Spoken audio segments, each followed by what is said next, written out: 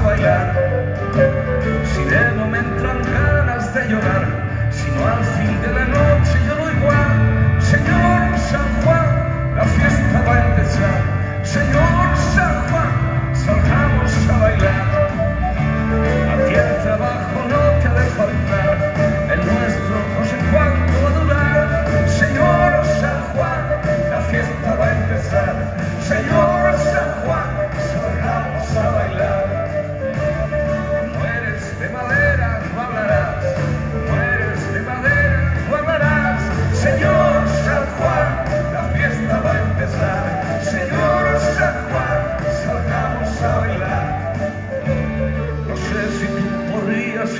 a un tipo que jamás te va a rezar, Señor San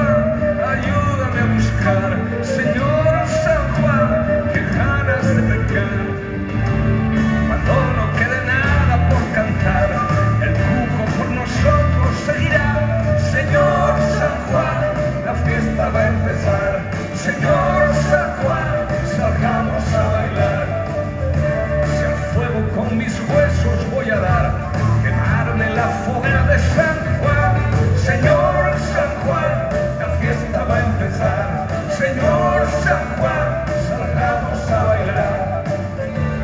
No sé si tú podrías escuchar a un tipo que jamás te va a rezar, Señor San Juan, ayúdame a buscar, Señor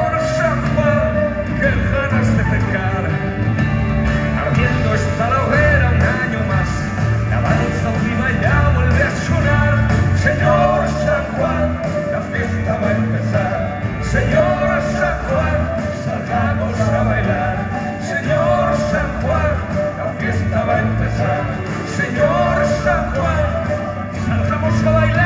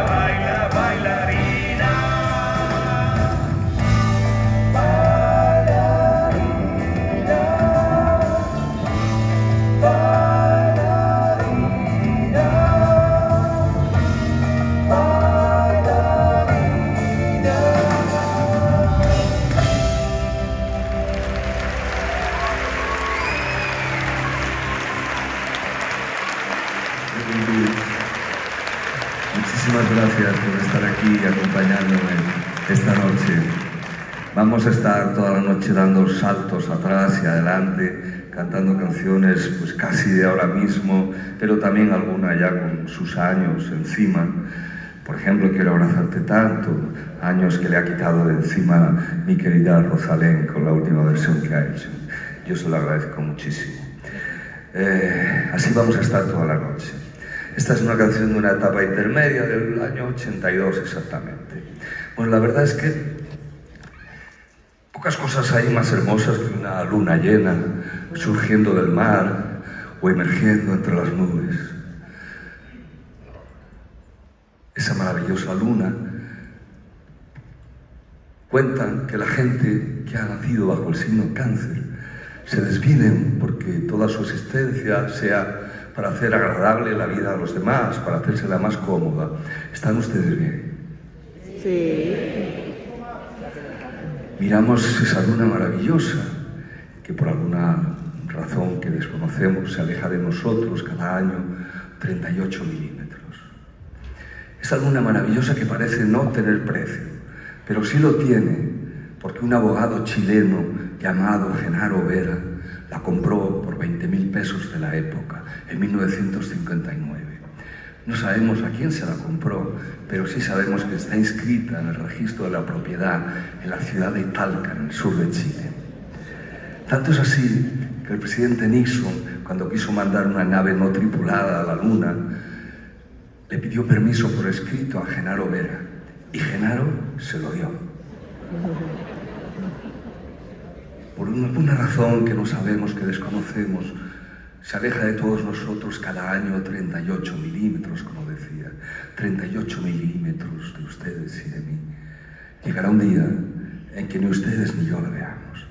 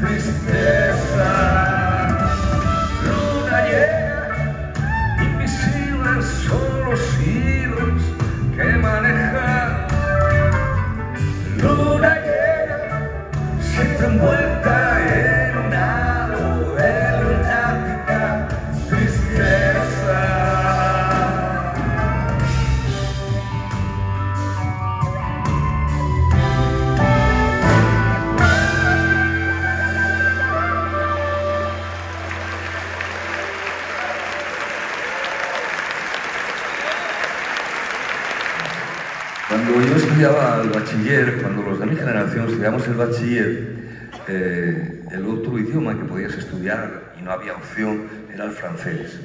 Así que eso hacía que estuviésemos muy cerca de las canciones, de la música francesa, de las películas, de, bueno, se editaban revistas de música francesas en España.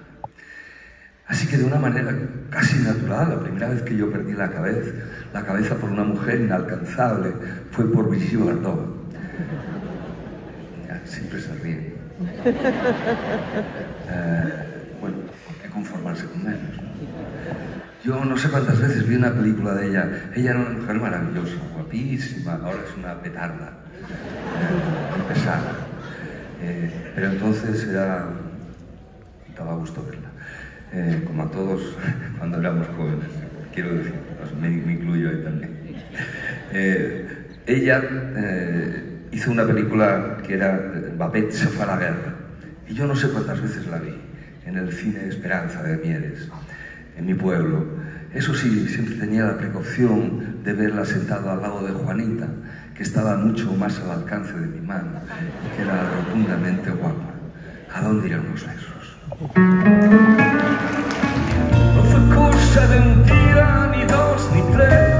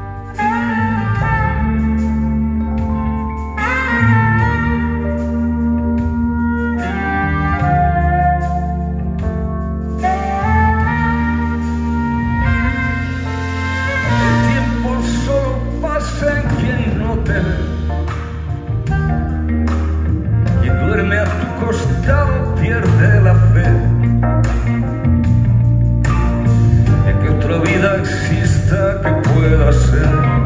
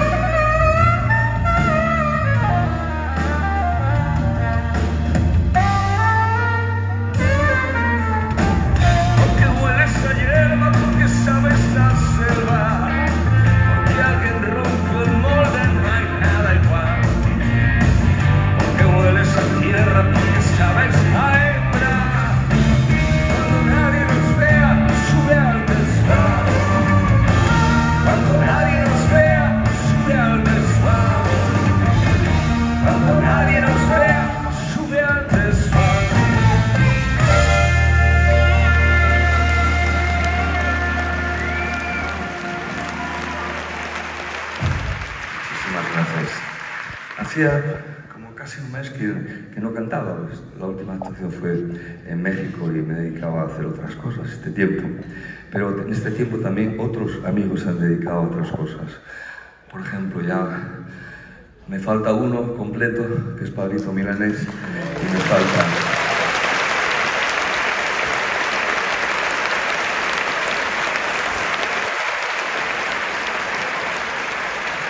Y me va a faltar a partir del día 23 mi querido Juanito, pero ese va a pasar a mejor vida, digamos, a descansar.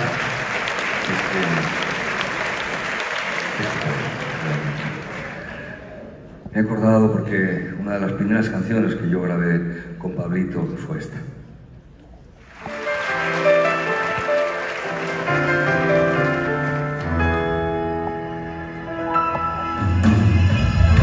Hay amor que despierta las piedras, hay aquel que no te siente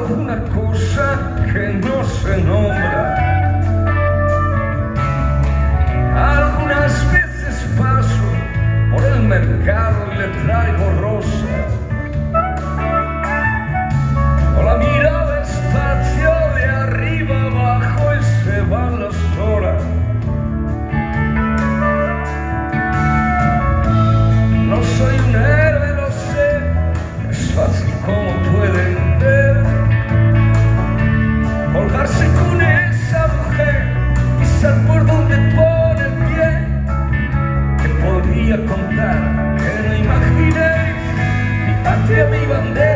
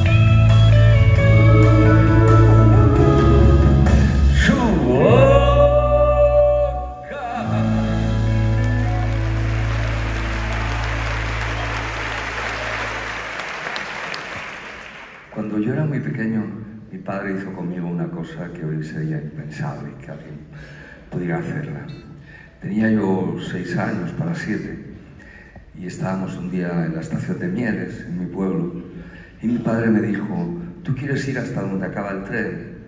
Digo, yo sí. Dice, mira, pues te vas a subir ahora en este tren que viene, de cercanías, te subes, te sientas y cuando llegues al final, en San Juan de Nieva, tú no te bajes, tú te quedas ahí sentado porque a los 10 minutos el tren da la vuelta y se vuelve para Mieres otra vez. Era un viaje más o menos de 60 kilómetros eh, y 60 de vuelta, o sea, tres horas realmente. Mi padre me sentó, le dijo al revisor que me echase un ojo, por lo que yo intuí, que hablara con él. Y fui hasta el final, volví con el culo un poquitín apretado. Y cuando llegué a Mieres y se abrió la puerta, yo me tiré desde arriba a los brazos de mi padre. Soy hijo de ferroviario.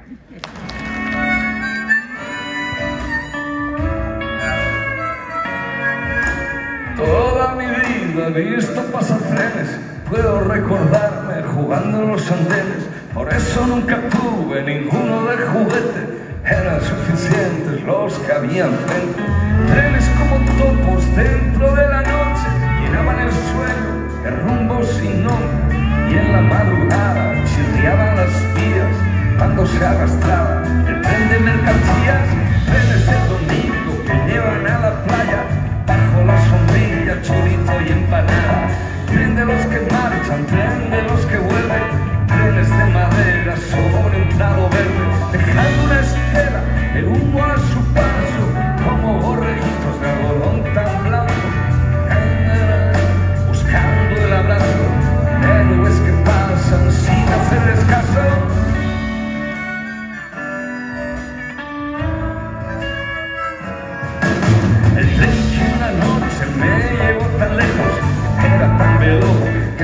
Expreso. Trenes a veces no tienen misterio, huelen a comida y a sudores viejos. Tren de los fracasos y las despedidas, y una madrugada se lleva al final al cielo sin trenes, a un limbo sin días, con su farolito y su banderita. Trenes de soldados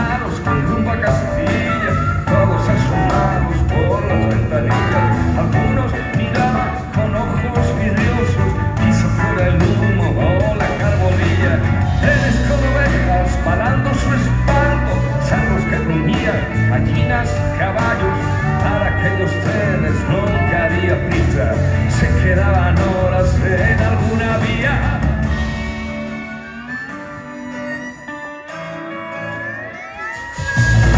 Mi padre, por cierto, era ferroviario, hijo de la guerra. Y en el terreno por todos los santos iba de su mano a dejar un ramo en la fosa común donde estaba enterrado viaje de vuelta el jabato mientras él miraba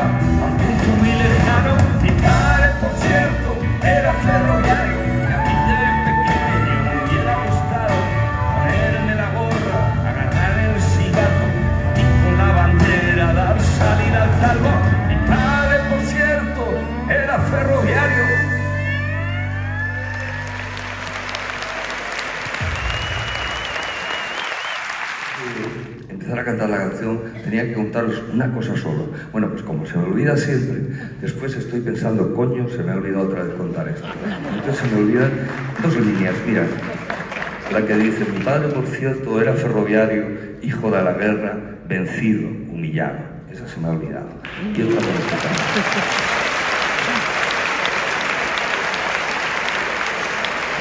Otra por ahí. Lo que quería contaros es que hay una intrahistoria ahí dentro de la canción. Habla de Delfina, que era la guardesa, la que cuidaba el paso a nivel delante de mi casa. Y, y esa mujer, bueno, pues nos avisaba para pasar cuando no venía el tren, esas cosas, ¿no? Y una madrugada se la llevó un tren por delante. Y hace muy poco, muy poco todavía me enteré por qué le había ocurrido eso a esa mujer, ¿no? Eh, Porque venía en una nota suelta en el periódico de aquel año, que era exactamente 1953. Eh, había intentado apartar un borracho porque venía el tren y efectivamente apartó el borracho, pero el tren la mató a ella. Esa es la historia, intrahistoria de Delfina. Bueno, efectivamente, por todos los santos, mi hermano y yo íbamos de la mano de mi padre al cementerio, a la fosa común del cementerio de Oviedo, donde estaba enterrado su padre. Él nos hacía colocar todos los años las flores en el mismo sitio, en un rinconcito, el lugar donde él podía soñar que, estaba su padre enterrado. ¿no? Eso sí, está enterrado en una fosa con otros 1800 fusilados al amanecer como él. Eh, al menos ha tenido la delicadeza de poner una placa a la entrada del cementerio donde están los nombres de los 1800 fusilados que hay ahí abajo.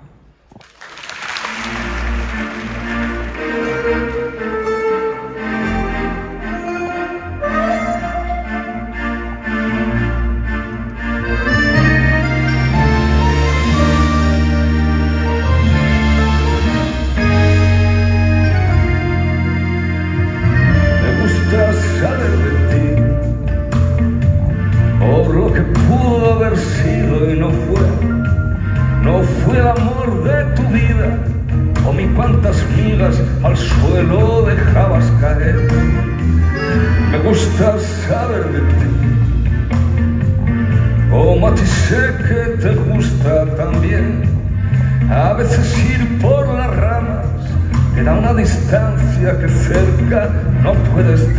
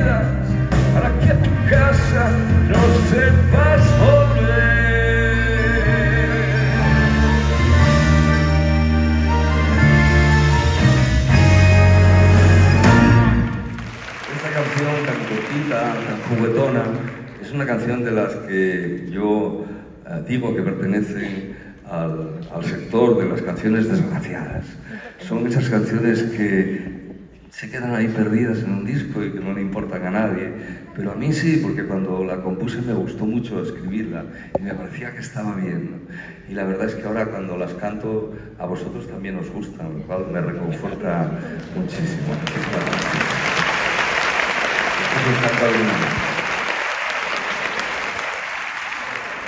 Bueno, yo tengo una hija que cuando todavía iba al colegio, Marina, un día llegó a, a casa, yo estaba componiendo y me dijo, dice, oye, ¿tú me has escrito una canción alguna vez a mí?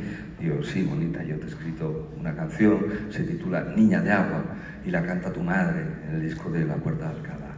Dice, ah, bueno, pero eso hace muchísimos años, yo era muy chiquitita, digo, sí, eras muy chiquitita, tenías dos años. Dice, no, digo, si me has escrito alguna canción más actual. Digo, pues no, bonita, no te he escrito nada más actual. Dice, ah, pues Jorge me está escribiendo una. Y yo me puse un poquito tenso. Y cuando salió por la puerta le escribí esta otra, que la verdad es que cuando la escuchó le gustó mucho. Y lloró, lloró, porque ella es muy exagerada, como su madre. Cada bajo el sol.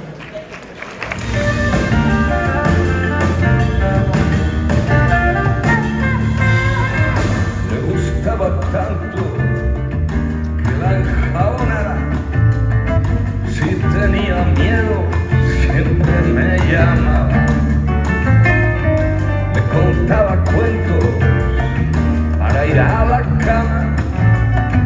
Cuando la comía ella, se dejaba. Aprendimos juntos el abecedario y no se soltaba nunca de mi mano.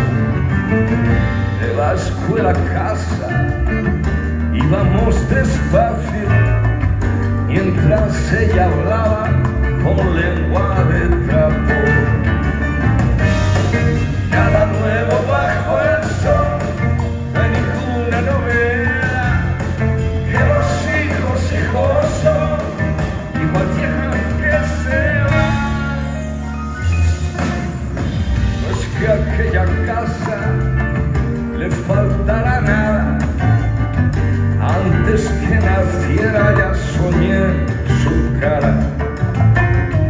trajo la alegría que da el agua clara, la que el sol regala todas las mañanas. Le gustaba tanto cuando la besaba y ahora cada uno que ella me regala como si del alma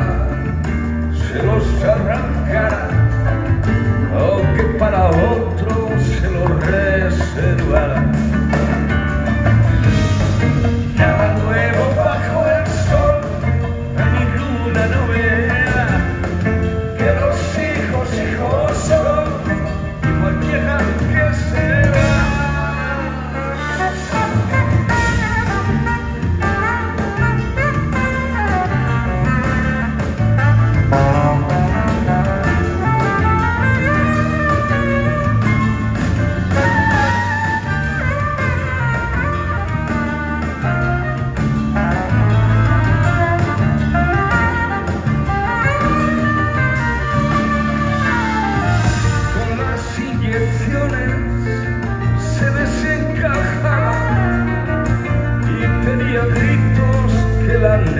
anestesia,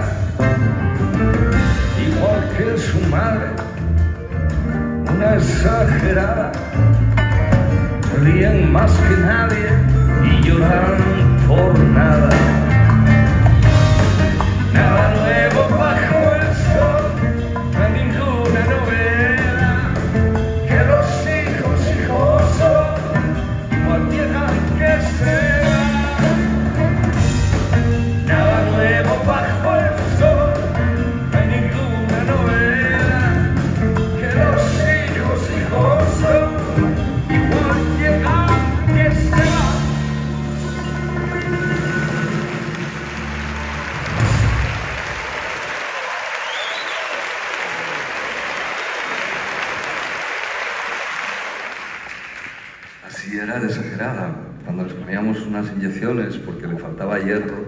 Y eran muy jodidas, muy dolorosas, pedía que la anestesiaran.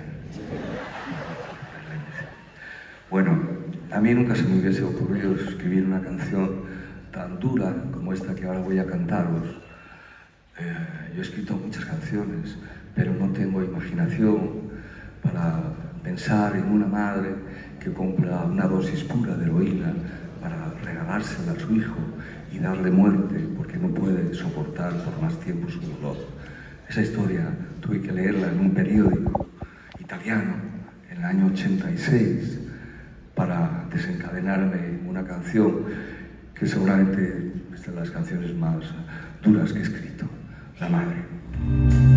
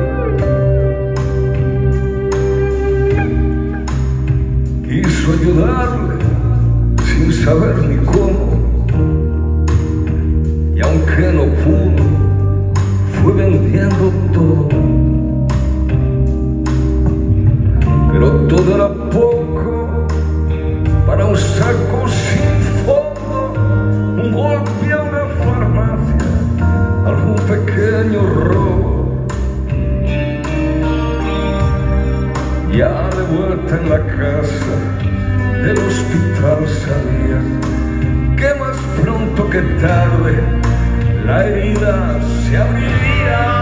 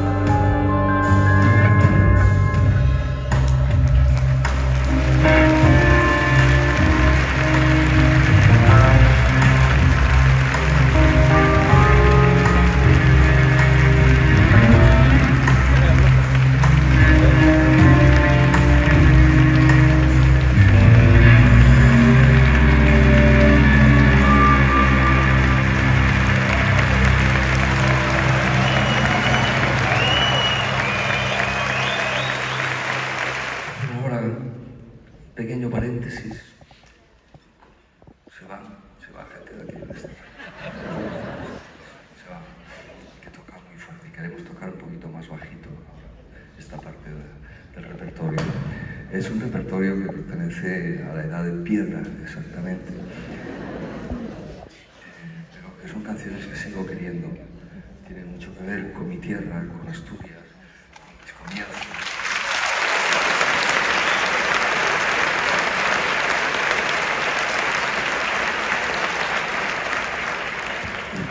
en aquella época, que era picar mucha piedra, a ver si escarbando salían muchas canciones.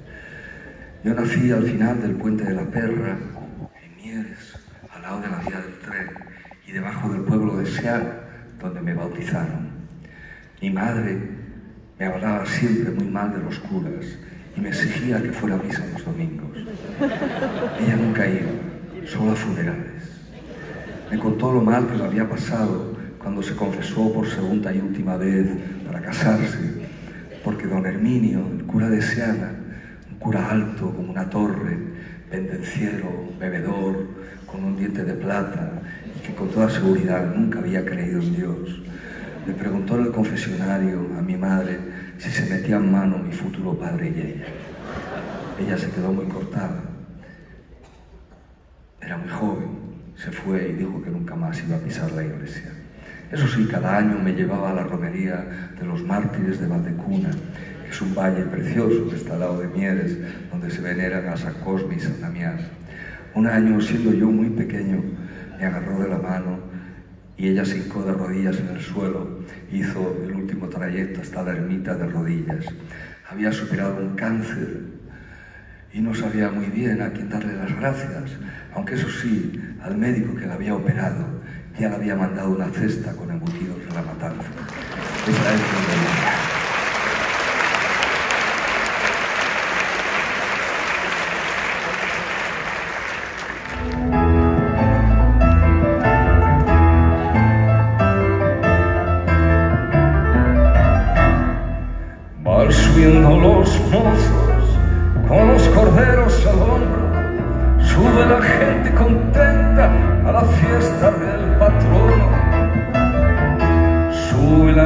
estrena zapatos novia de un bolso y todo el verde del valle se refleja en el arroyo.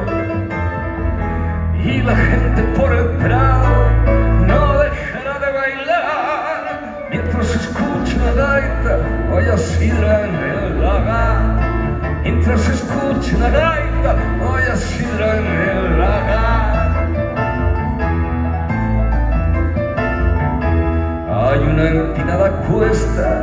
para llegar a la ermita y las campanas repican, los romeros van a misa y el pastor con su rebaño, con su zurrón y las vacas, quiere ser luz a campana y despertar a su amada. Y la gente por el prado no dejará de bailar mientras escuche la gaita vaya sidra en el lagar. Mientras escuche la gaita vaya sidra en el lagar. Mientras escuche la gaita vaya sidra en el lagar.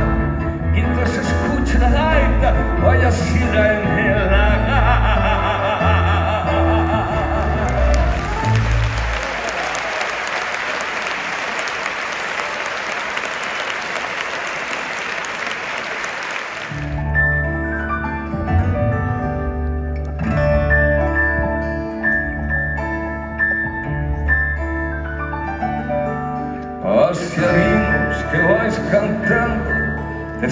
Ella en la lucha y en los fracasos me acuerdo de ella, que me pesan los mis amores y la grandeza de los montes, ríos y valles en la mi tierra. Y si voy por el Carmen, he de comprarle cuerda muy corta para tus padres, pa' que te amarren fuerte, pa' que te amarren, que tus padres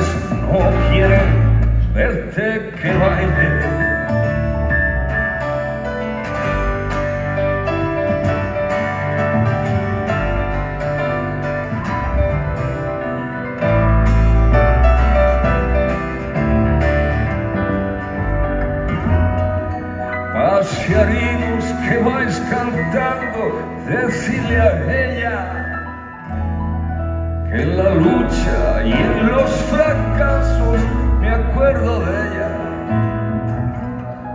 que me acuerdo de aquellos mozos que hay en la mina,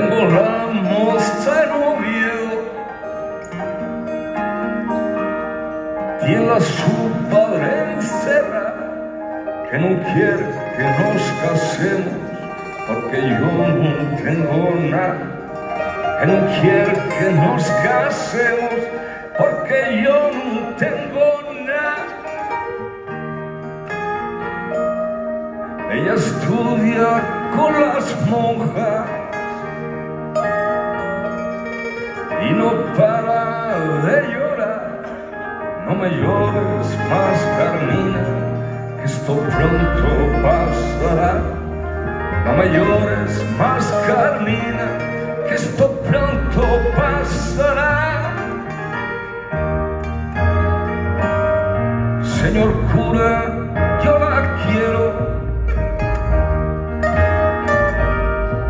Y con eso tierrazo a casanos que no quiero reñir con su padre no. A casanos que no quiero reñir con su padre no. A las seis estoy mañana de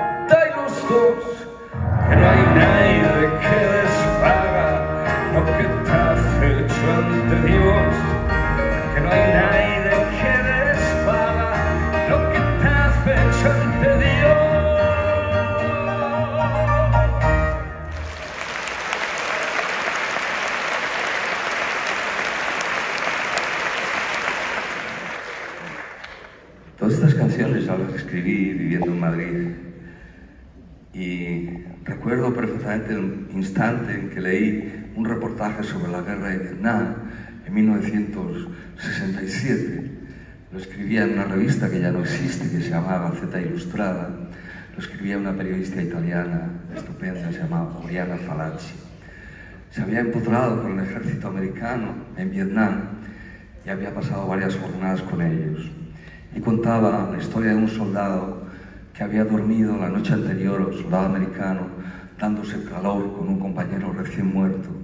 Y él lloraba, gemía y decía que no, sé por qué, no sabía por qué estaba a 14.000 kilómetros de su casa pegando tiros a una gente contra los que no tenía nada. Y se preguntaba una y otra vez, ¿por quién lucho yo? ¿Por quién lucho yo? ¿Por quién lucho yo?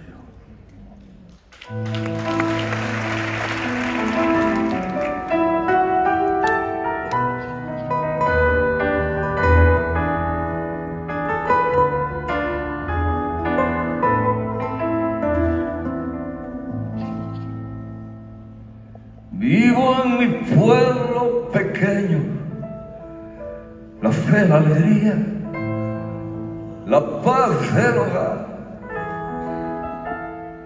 Hay una niña morena que tras el trabajo me llena de paz. Hay una ermita en el monte que todas las tardes escucho cantar. Y aquel arroyo tan claro que riega los campos que son nuestro pan. Era la tarde en suspiro aquellos soldados llegaron acá. Quietos los niños y viejos, la gente más joven tendrá que luchar. Tiembla el fusil en mi mano, cerrando los ojos, disparo al azar. Bala perdida que mata cualquier inocente con ansia de paz. ¿Por quién lucho yo si en mi corta vida existe rencor? ¿Por quién lucho yo que vivo la vida con fe, con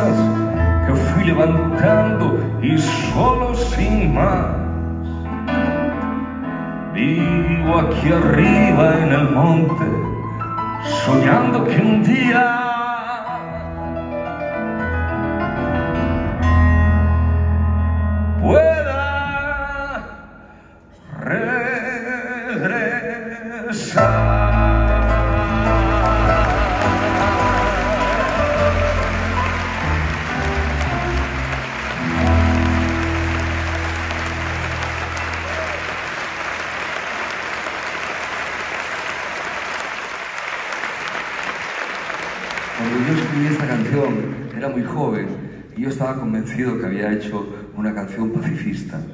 Pero cuando la escuchó el gobernador militar de Canarias, el señor Héctor Vázquez, dijo que no, que era una canción antimilitar. Yo había enviado la canción a un festival, que entonces había muchos festivales en muchos lugares de España, de canciones inéditas, y había mandado esta canción tan insólita a un festival de la canción. Y, y, la verdad es que fue la primera vez en mi vida que me sentí reconocido, querido en un escenario, aplaudido. Ya sé que ustedes aplauden siempre, aunque lo hagan mal, los artistas. Yo también les aplaudo. Pero aquella gente yo veía que me aplaudía de verdad y que les parecía bien lo que hacían. Y, y bueno, llegó la hora de la votación y ganó el cobarde. Y el gobernador militar, que estaba muy interesado en la cosa, dijo que no, que no podía ganar esa canción, que tenían que romper las actas y tenían que votar otra vez. Yo todo esto lo sé porque tenía dos topos en el jurado, que eran Elfidio Alonso, de los abandeños, que aún vive, ahí está Rozagante, y Tico Medina, que era el presidente del jurado, que ha muerto hace poco. Efectivamente, volvieron a votar otra vez el jurado y ganó, pues por lógica, la que tenían que ganar en un festival turístico en el puerto de la Cruz, en Tenerife. ¿Qué canción, qué coño de canción va a ganar? ¿no? Pues una que decía, Tenerife tiene seguro de sol, seguro de sol, seguro de sol, Tenerife tiene seguro de sol, seguro de sol, seguro de sol, Tenerife tiene. Y así hasta el infinito. Bueno, yo quedé el cuarto,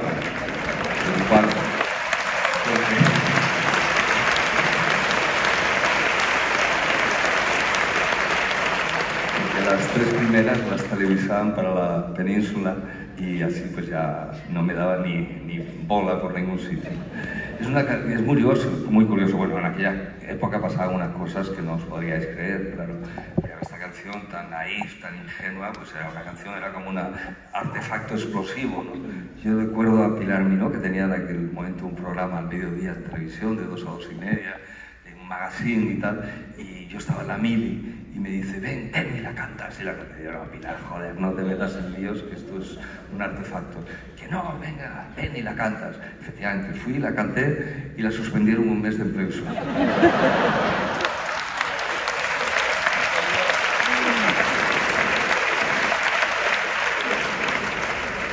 Bueno, conocí canciones en aquella época que no sonaban en la radio, eh, por supuesto, tampoco en la televisión me regalaron un disco de vinilo de argentino de canciones de mina argentinas, una provincia que se llama La Rioja, donde hay minas de plata.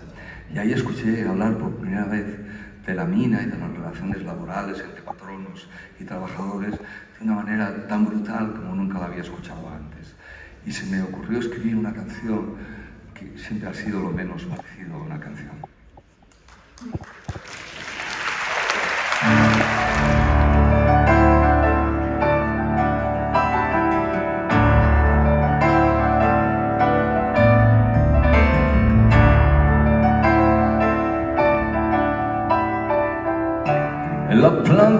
Planta 14, en el pozo minero.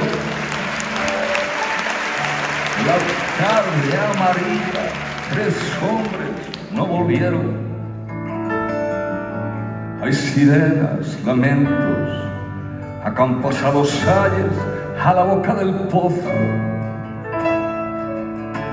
Dos mujeres de luto anhelando dos cuerpos una madre que rumia su agonía en silencio.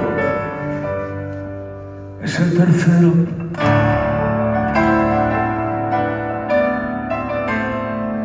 A las 10 la luna clara se refleja en las sortijas del patrón recién llegado, con sombrero, gravedad y su aburrido gesto. Él ha sido el primero, vendrán gobernadores, alcaldes, ingenieros, tratarán de calmar la presentida viuda que se muerde el pañuelo. No sabrán acercarse a la madre que les mira con los ojos resecos. A las doce el patrón mirará su reloj, los otros ya se fueron y en un punto y aparte esbozarán fastidio mientras piensa, pero ¿dónde están estos? Ha llegado por relevo de bomberos y a la una menos diez verá la noche el primer muerto.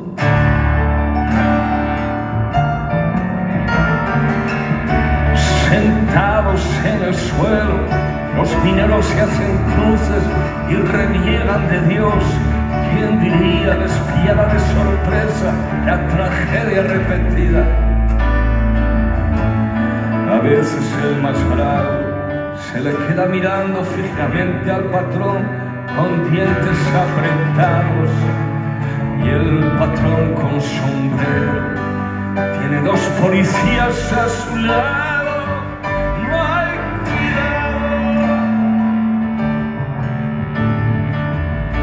Tres horas lentas pasan y a la luz de las linternas asustadas, el cura con los ojos arrasados al segundo levaniendo sobre el pecho las manos. Y un chaval de 15 años, mientras llora impotente, se abraza contra un árbol. Y el chofer del patrón, su gorra de plato, se siente desplazado. Es un hombre prudente, bien domado. El rocío ha hasta los huesos. Cuando sale el tercero, le recibe con sonrisa gris azul la madrugada. Y con voces los mineros, mientras se abrazan todos, y uno de ellos, el más fiero. por no irse al patrón, llora en el suelo.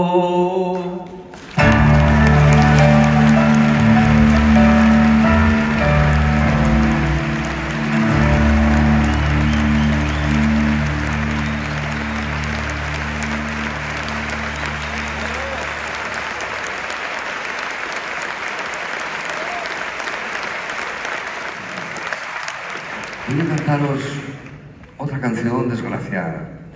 Es una canción del año 97. Ay, canción pequeña. Y como os decía antes, son de esas canciones que uno hace con muchísimo cariño, ¿no? Y piensa que ha hecho algo, por fin ha hecho algo que merezca la pena, ¿no? Y cuando vosotros la recibís os importa un pijo. Nada, se pierde ahí en el disco, se queda sumida en la profundidad del disco y desaparece para siempre. Por eso la quiero rescatar ahora y cantarosla. Yo creo que os va a gustar casi con toda seguridad. Se titula Canción Pequeña.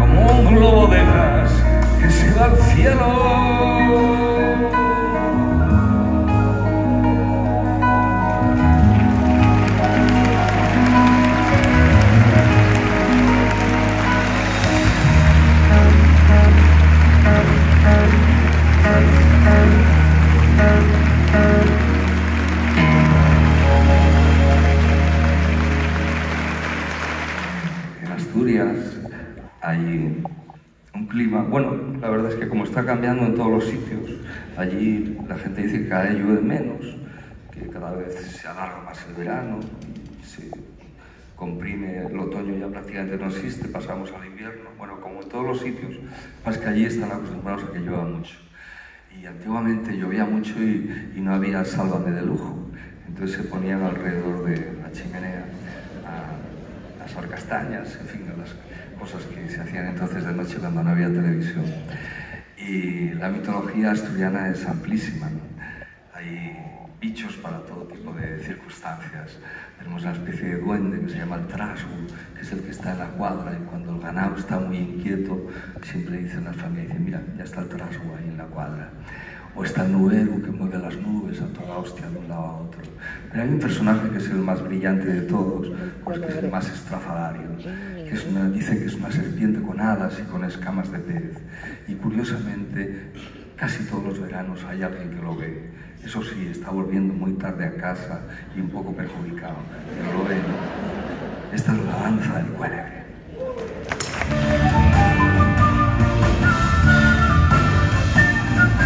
Dicen que el cuélebre tiene la escama de un pez que vive dentro del río y que nadie lo ve.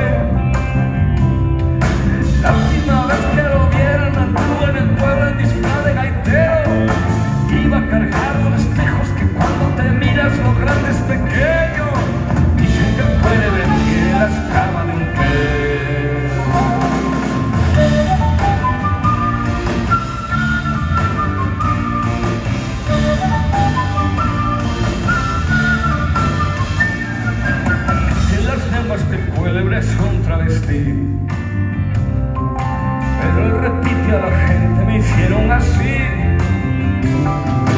Puedo ladrar como un perro, nadar como un pez, volar como un cuervo. Gusta mandar los caminos calzando madreñas tras de las mujeres. Las lenguas que el cuélebre es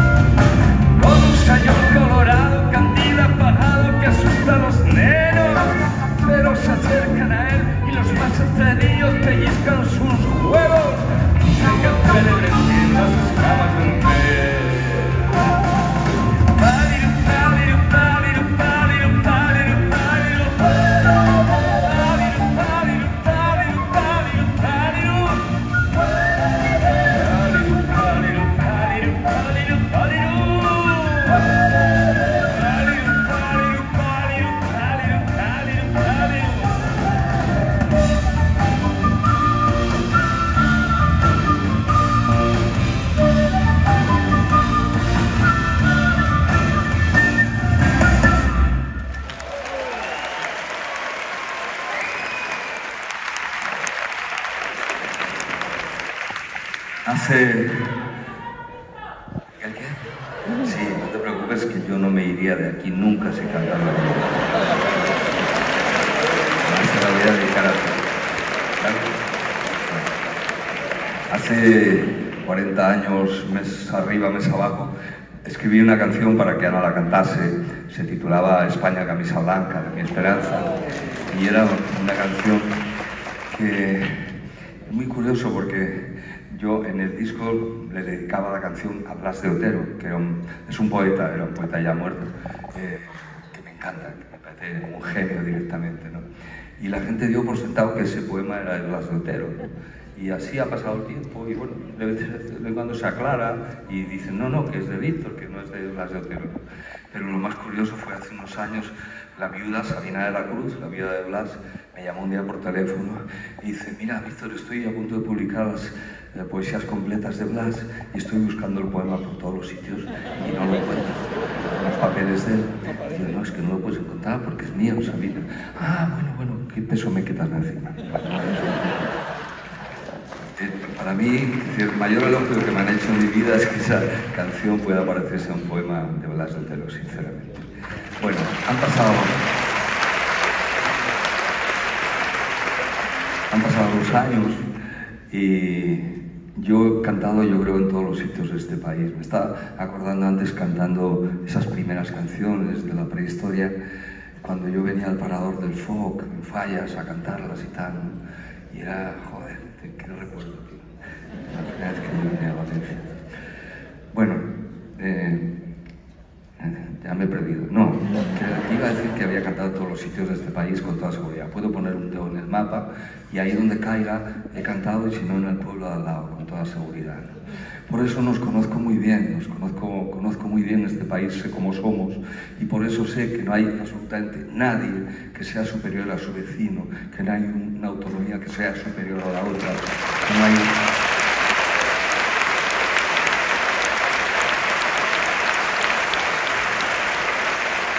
no hay nadie tan distinto como pueden pretender algunos, que todos somos iguales. Es cierto que no todos tenemos las mismas oportunidades, pero todos somos igual de tontos y de listos, de gilipollas y de brillantes. Todos somos iguales. Por eso he querido escribir una canción ahora que habla de estos tiempos que son realmente extraños, ¿no? donde hay gente que bueno, quiere hacer cosas unilateralmente, cosas que se le pasan por la cabeza, ¿no? que está muy bien, pero como yo siento que este país es lo que es porque estamos juntos todos y estamos en un proyecto más o menos común, no, no entiendo cómo alguien pueda pretender hacer una raya y poner una frontera nueva. Esta canción se titula Digo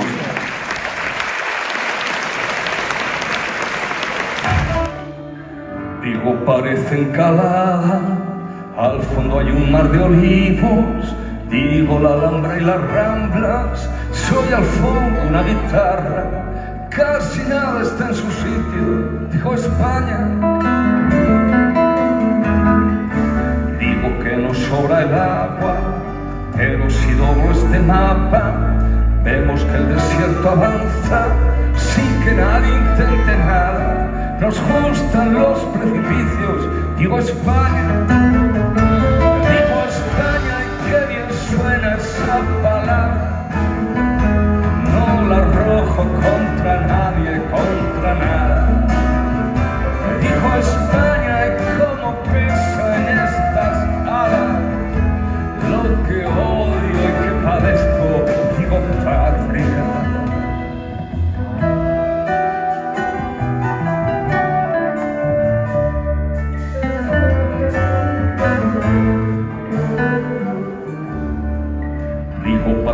y esta mía, como las nubes que pasan, el cielo de Andalucía, desde Cantabria a Navarra, de Extremadura a Canarias, digo España.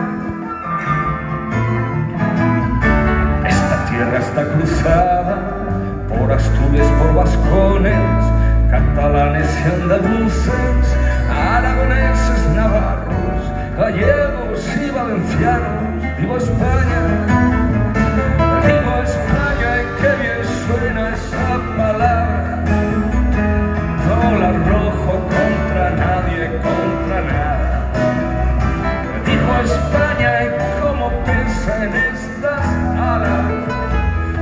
que odio y que padezco, sigo patria.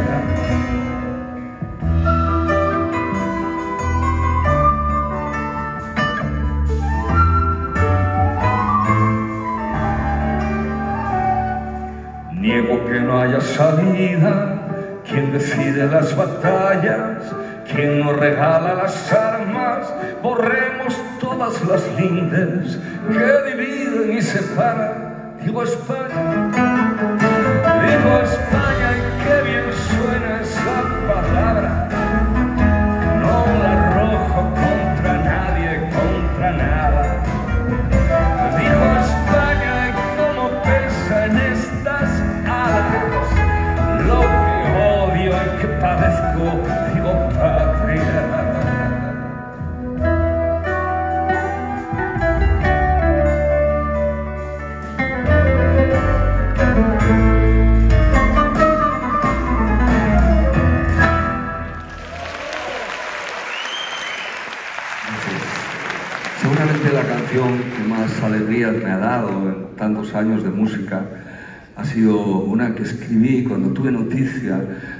residencia en la provincia de Córdoba, en Cabra, una residencia muy especial llamada Provo, donde convivían, estoy hablando de 1978, convivían discapacitados de ambos sexos. Ahí dentro fabricaban muebles, fabricaban forjas, financiaban en parte sus vidas y lógicamente se enamoraban también. Y había una imagen que fue la que me impactó, que cuando acababan su trabajo, Mariluz y Antonio se agarraban de la mano y paseaban por el jardín. Ellos quisieron casarse y el arzobispo de Córdoba se lo prohibió y el cura del pueblo los casó contra la voluntad del arzobispo. Y tutelados por la residencia han tenido tres hijos, dos de ellos universitarios y el otro mecánico. Y esta es una de esas historias que te reconcilia con la vida sale bien. Solo pienso en ti.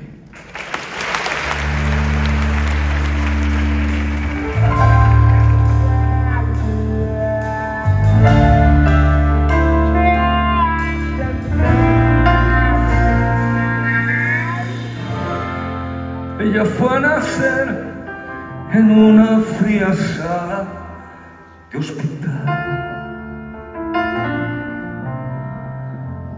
Cuando vio la luz, su frente se quebró como cristal. Porque entre los dedos a su padre, como un pez se le escurrió. Hace un mes cumplió los 26. Solo pienso.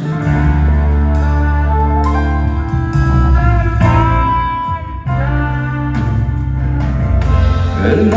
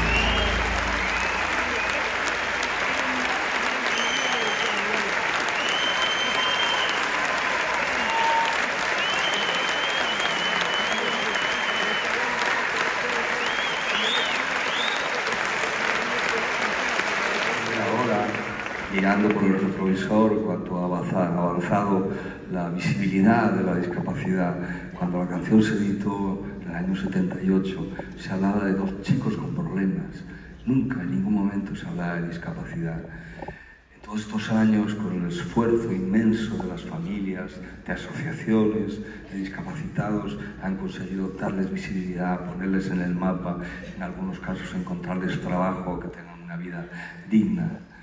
Ellos han hecho todo el esfuerzo.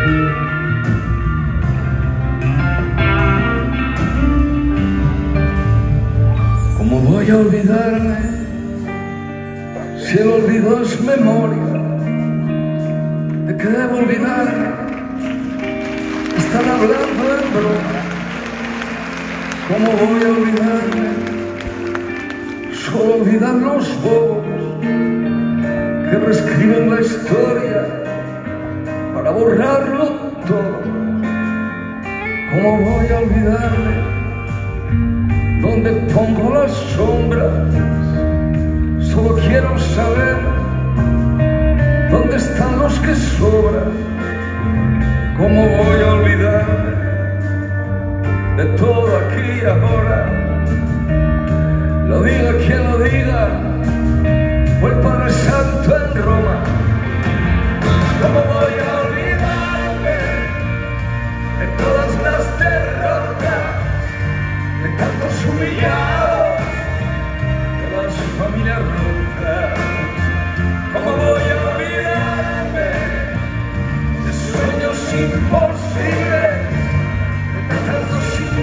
Y de tantas victorias.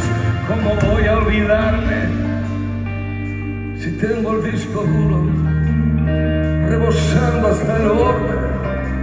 Que alguien venga y lo borre. ¿Cómo voy a olvidarme? Ya sé que les estorba que se abran las cunetas, que se miren las fosas y que se haga justicia sobre todas las cosas, que los mal enterrados ni mueren ni reposan. ¿Cómo voy a olvidarme de esa turba furiosa, de esos años de plomo y curas con pistola? ¿Cómo voy a olvidarme de todas las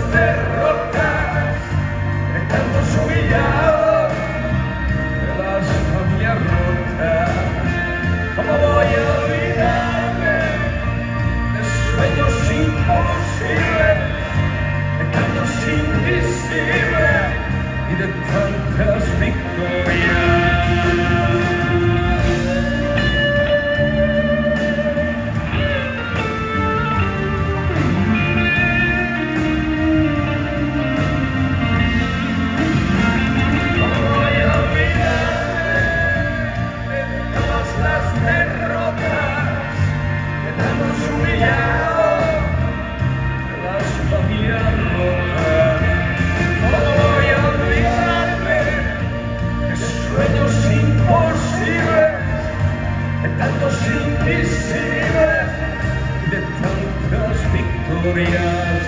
¿Cómo voy a olvidarme?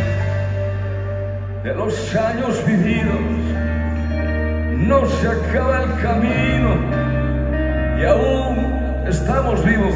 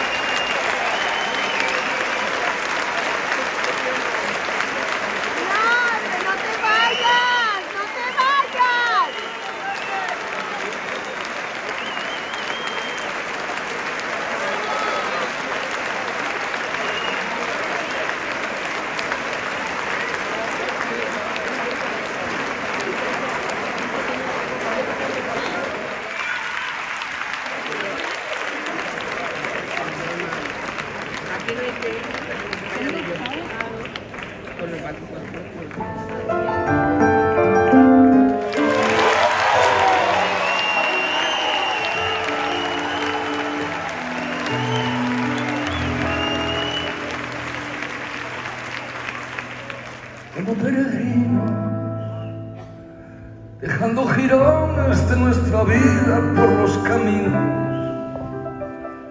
haciendo lo mismo que otros han hecho durante siglos, para que te quieran y que tú sepas que te han querido.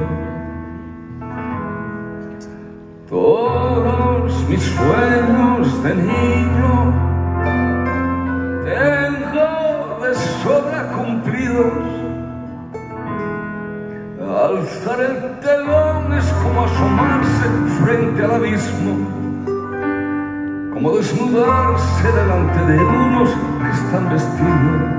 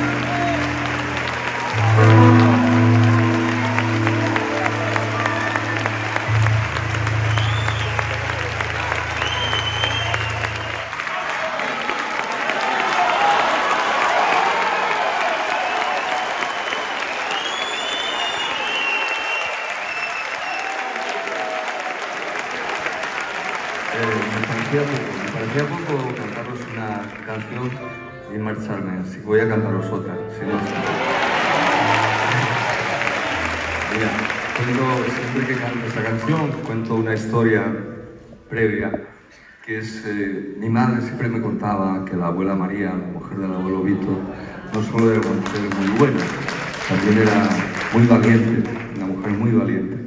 Acabada la guerra, andaban por el monte, lo que allí llamábamos los fugaos, eh, aquí en Levante los maquis. Y una madrugada se escuchó un tiroteo encima del Ribón, la aldea donde ellos vivían, y en un prado precioso que se llama El Collado. Y allí entre la hierba había dos chavales acribillados a tiros y al lado los guardias esperando seguramente la llegada del juez. Y cuando empezó a amanecer, la gente del pueblo subió, se acercó cautelosamente a ver qué había pasado y los guardias muy nerviosos gritaron atrás o disparamos. Y María también lo escuchó como los demás, pero ella se despegó del resto y fue caminando hacia ellos. Y cuando ya estaba muy cerca, uno de los guardias, fuera de sí, le dijo, alto o disparo.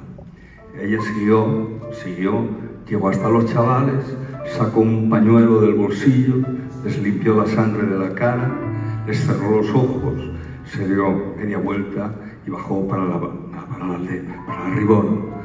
Con esta historia que me contaron tantas veces, empecé a escribir la historia de María Coraje. 106 años y tiene el pelo blanco de nieve. Tiene un vestido negro y de madera, negros pendientes.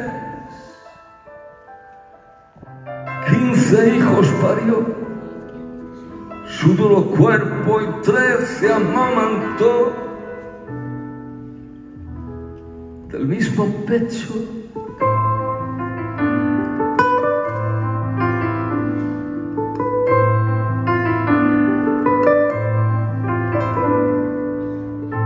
Tres se llevó la guerra junto a la sierra, se los perdieron.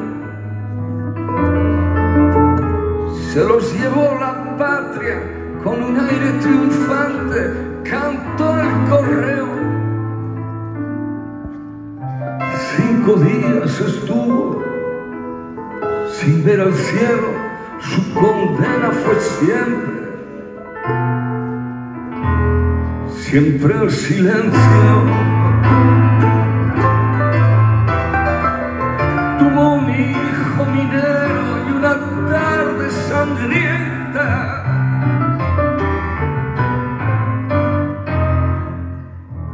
Envuelto en sangre y lodo, se lo trajeron.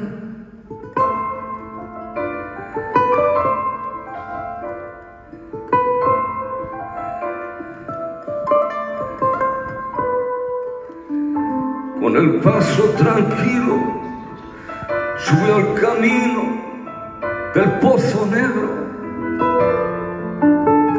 Y al llegar al portón, extravió la mirada y escupe al suelo.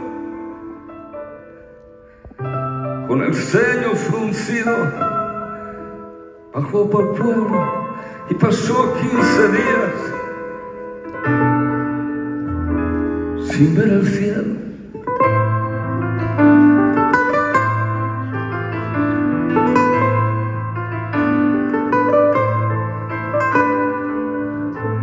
Se le endulzan los ojos cuando recuerda su primer beso, estrenó vestido para el bautizo del primer nieto y del viaje de novios y de su miedo al entrar en la alcoba junto a su dueño.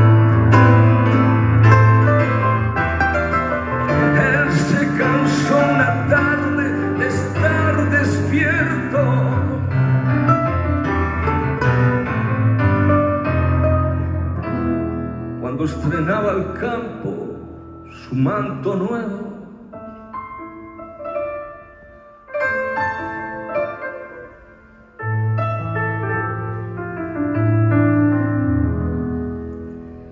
Tiene un hijo poeta, un carpintero y tres en México,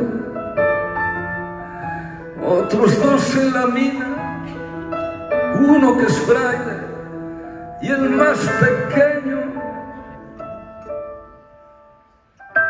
que siempre fue muy guapo, pluscuam perfecto, hoy es una flor tierna de invernadero.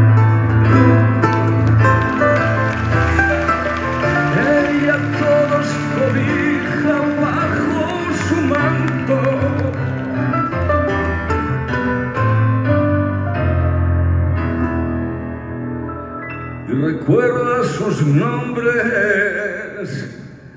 y el cumpleaños.